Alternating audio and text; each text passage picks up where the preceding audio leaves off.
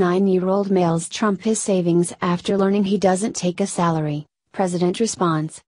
When a nine year old boy from Tennessee heard that President Trump was only going to take a $1 salary, he decided he needed to help. I thought, how is he going to eat or drink? Elisha Davis told her. Or, you know, pay, if he needs to pay his water bill or anything. Elisha then told his mother, Melissa, that he wanted to send some money to Trump. He sent the president $3 he had worked to save.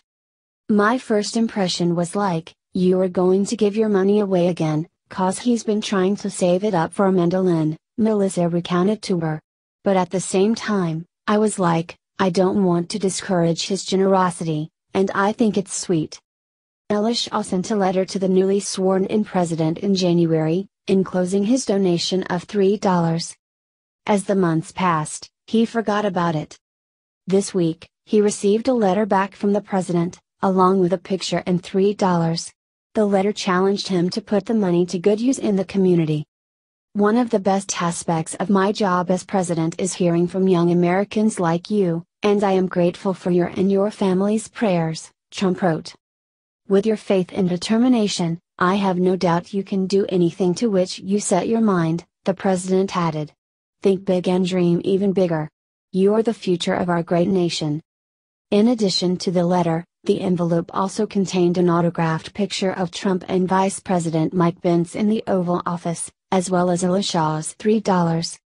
When Elisha was asked what he would do with the return money, he said he is going to put some serious thought into it. Well, I just want to be a blessing to everyone, he added. My grandmother always told me that children and animals are always the best judges of character. President Trump seems to often bring out the best in kids.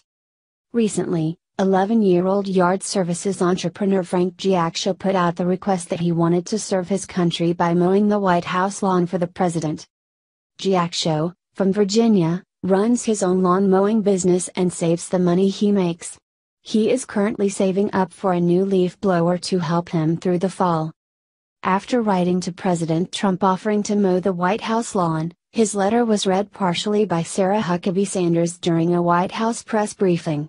It said, Dear Mr. President, it would be my honor to mow the White House lawn for some weekend for you.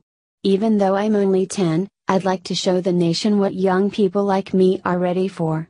I admire your business background and have started my own business. I have been mowing my neighbors' lawns for some time. Here's a list of what I have, and you are free to pick whatever you want power mower, push mower, and weed whacker. I can bring extra fuel for the power mower and charged batteries for the weed whacker. We often worry about the next generation. It feels like liberal snowflakes are taking over the world.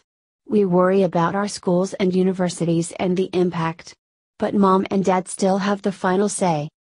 Trump won about 84% of the counties in America, Clinton won 16%. Only 26% of voters identified as liberals in election day exit polls, with 39% calling themselves moderates and 35% conservatives. These stats, as well as these incredible stories of fantastic young people show us that is just not the case. Case.